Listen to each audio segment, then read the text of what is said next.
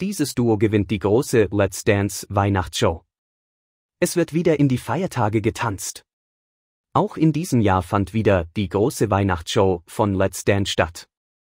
Während in der vergangenen Ausgabe Rurik Gislason 35 und Malika Chumaev 32 den Pott mit nach Hause hatten nehmen dürfen, versuchten nun sechs Duos ihr Glück auf der großen Tanzfläche zu den beliebtesten Weihnachtshits. Dieses Tanzpaar konnte das Let's Dance Weihnachtsspecial für sich entscheiden.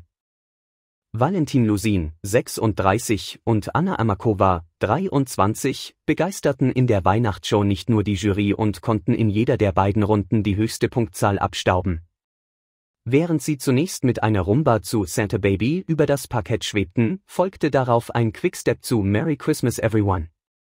Aber auch die Zuschauer schienen von den amtierenden Dancing Stars wieder einmal vollends begeistert zu sein, denn Anna und Valentin setzten sich durch und konnten letztendlich die 10.000 Euro für einen guten Zweck gewinnen.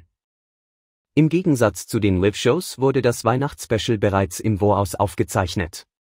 Wie Renata Lusin 1936 in ihrer Instagram-Story verriet, sei die Show wohl sogar bereits im Sommer gedreht worden.